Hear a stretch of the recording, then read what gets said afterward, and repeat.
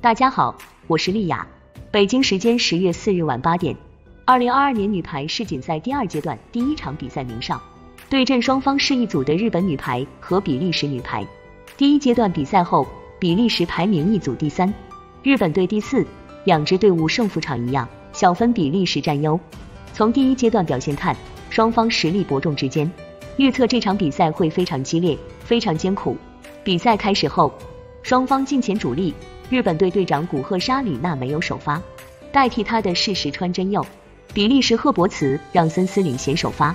第一局，日本队开局一传不稳，比利时抓住机会连续得分，四比一领跑。日本队稳住阵脚，迅速追分，六比八，八比八，并且以十比八反超。比利时顽强咬住比分，十四比一，四后连得三分，十七比十四，迫使日本队暂停。二十比十六，比利时扩大分差。二十三比十九，二十五比二十二，比利时先拔头筹。第二局，日本队果断变阵，祭出 M B 一阵容，古贺沙里纳和身高一点八一米的宫部蓝梨登场。日本队拼发球起效，七比一梦幻开局，十一比四牢牢压制。比利时顽强追赶，十二比八逼迫日本暂停。暂停回来，日本队稳住局面，扩大分差，十八比十二时比利时暂停。二十比十五，日本队优势依旧。比利时毫不放弃，二十一比十八，日本队第二次暂停，回来后进攻连续下球，二十五比二十，日本队扳回一城。第三局，日本队开局四比一领先，比利时迅速反击，追成四比四，日本队寸步不让，还以颜色，九比四再次领先，比利时陷入被动，十三比六，日本队不断扩大比分，二十比十三，日本队越战越勇，越打越自信，比利时一筹莫展。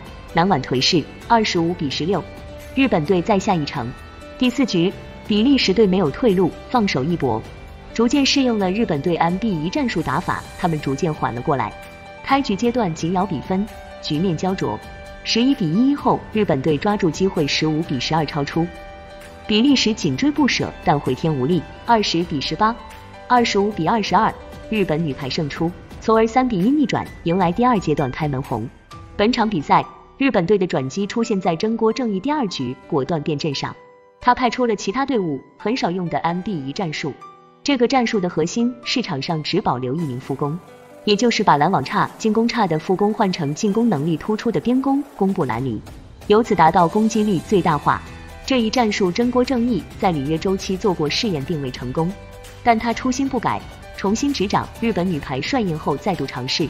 世锦赛前的热身赛上。日本女排就是用这个战术逆转战胜了荷兰，给了真锅正义一定的信心。世锦赛第一阶段，日本女排并没有用 M B 一战术，尤其和中国队比拼，最终零比三失利也没有变阵，可见真锅正义留了一手，想把这种稀奇的战术用在更关键的淘汰赛阶段。